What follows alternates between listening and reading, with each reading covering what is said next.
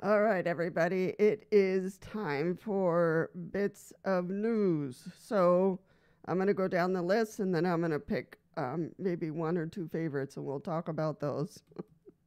All right. So the news that came in today was long repair delays impact wheelchair users nationwide. So thank you to Fox 8 uh, for putting that out.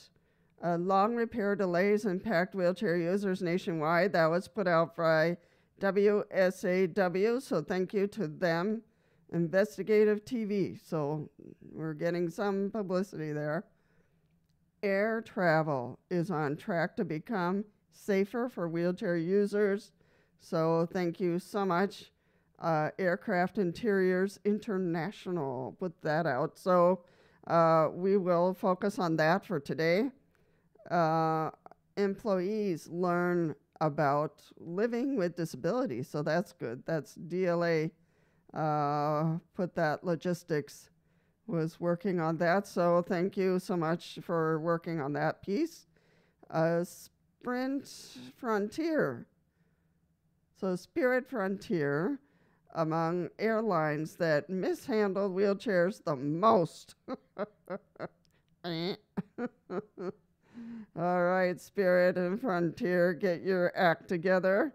This was put out by Quartz. So, and don't worry, I'll put out this link so that uh, you can look at all the different pieces of news. Uh, wheelchair user stuck in a motel for three years waiting for an accessible home. Ha! Did we not talk about that? This was put out by RNZ News, so thank you for making that public. Uh, Roadford Lake wheelchair users die during day trip from care home uh, when boat capsized. So that was put out by Sky News. So thank you for publicizing that. Uh, there should have been some more safety precautions, I guess. Wheelchair that turns into motorbike how those IIT uh, Madras alumni are enabling thousands of, and I'm sure this is wheelchair users, to, to use their new technology. So this was put out by the Indian Express. Are there any plans to make EV chargers or, yeah, chargers accessible to wheelchair users? Who knows? this was put out by the Irish Times. I'm sorry I'm laughing, but you know, it's like they should have made them accessible from the beginning.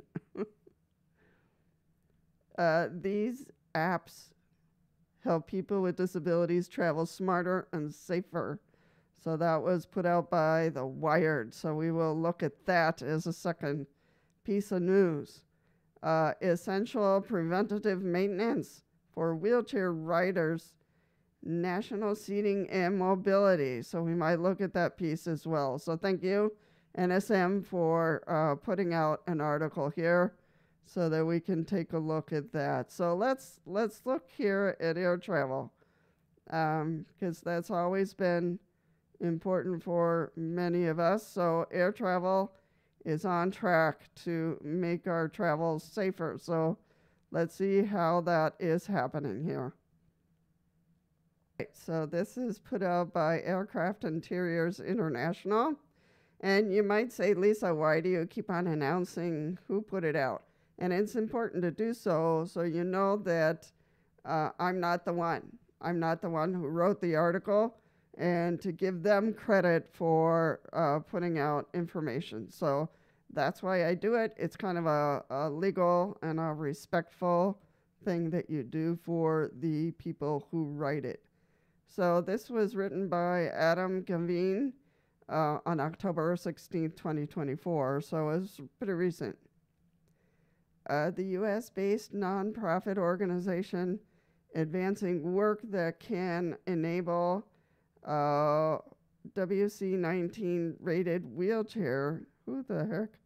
I don't know what WC19 rated wheelchair users to uh, remain in their own wheelchairs on commercial airline flights has announced it has made positive progress with the FAA. So we're, we're getting there, folks. I told you.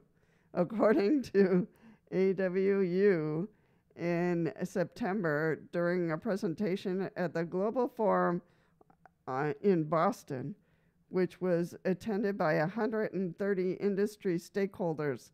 A representative from the FAA uh, indicated that AWU is now closer to achieving its goal and that wheelchair users can be optimistic that an improved air travel experience is coming. Can you give us a date? that would be nice. All right. Uh, and there's a link for the um, event if you want to see it detail by detail. uh, it's a summary, I think. The FAA is currently in the process of setting parameters for the testing and certification of wheelchair tie down system for aircraft cabins, with the physical work due to begin in 2025. Currently, we have not identified any major issues to uh, installation and mitigation for any minor issues are being developed, said Kelly Buckland, Disability Policy Advisor at the U.S. Department of Transportation. We anticipate being able to make a recommendation on installing the tie down system by the end of 2025. Well, I was hoping the beginning of 2025, but I guess uh, I'm not part of the board. And uh, from there, it would take an airline or another group to request the approval and began modifying the cabin interior layout to accommodate a wheelchair in the cabin. It is also anticipated that the DOT would start rulemaking in early 2026 to require wheelchairs uh, be accommodated in the cabin. It's coming.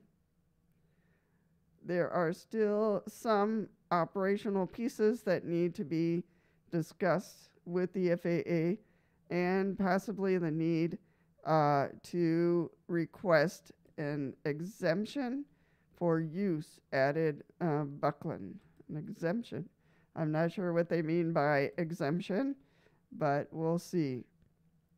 This process can be aided by the guidance and participation, no, partnership offered by AWU and organizations it works with, such as Paralyzed Veterans of America, PVA, uh, and representative uh, veterans with spinal cord injury or uh, disease.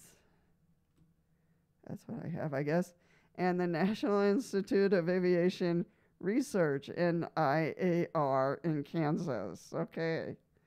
So we're, we're coming to, this is a long article, but you know that it's, it's being worked on. Organizations are coming together to look at the details of um, the uh, problem here.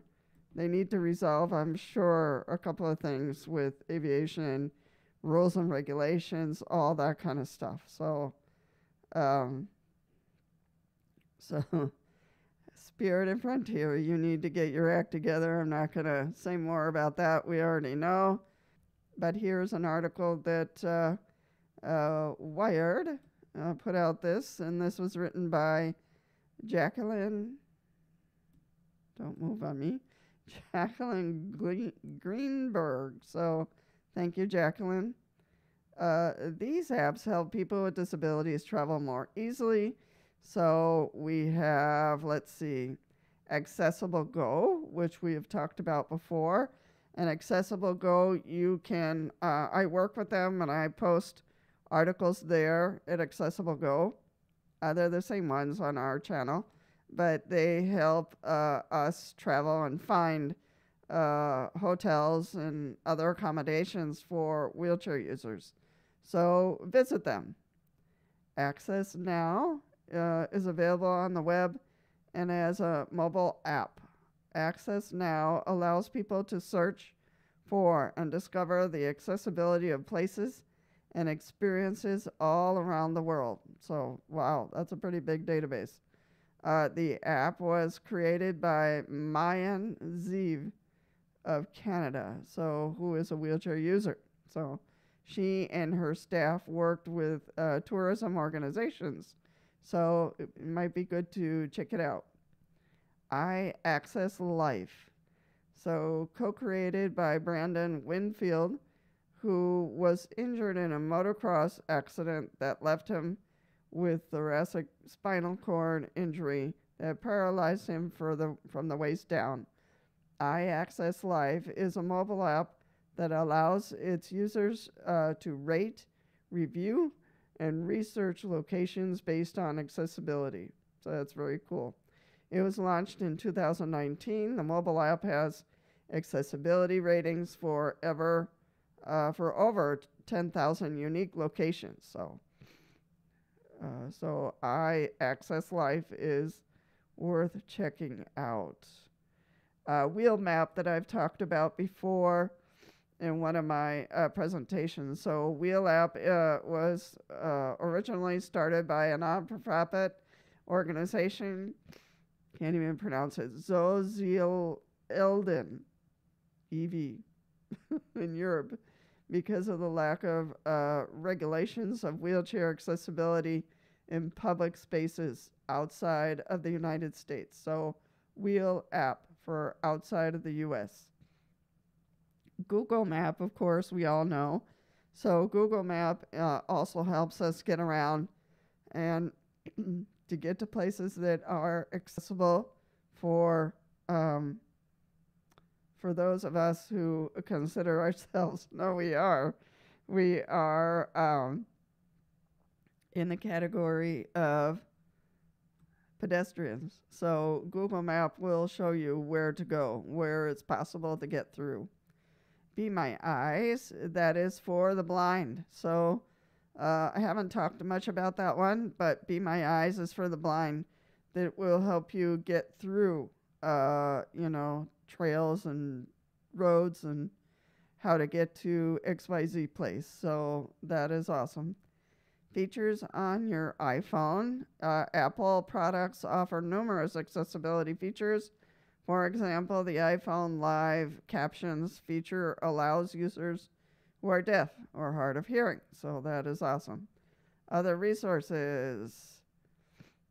Uh, in addition to those apps, or to these apps and the websites, travel blogs like Curb Free with Corey Lee, Have Wheelchair Will Travel, uh, and Simply Emma are great places to find accessible travel tips.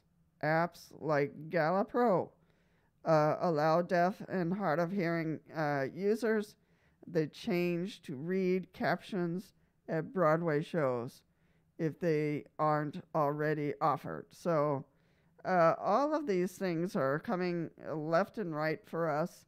And this is really important for us to take a look at them, support them, so we can get more, uh, more help, more accessibility. Now, National Seating and Mobility, I know them well. Uh, I'm going to uh,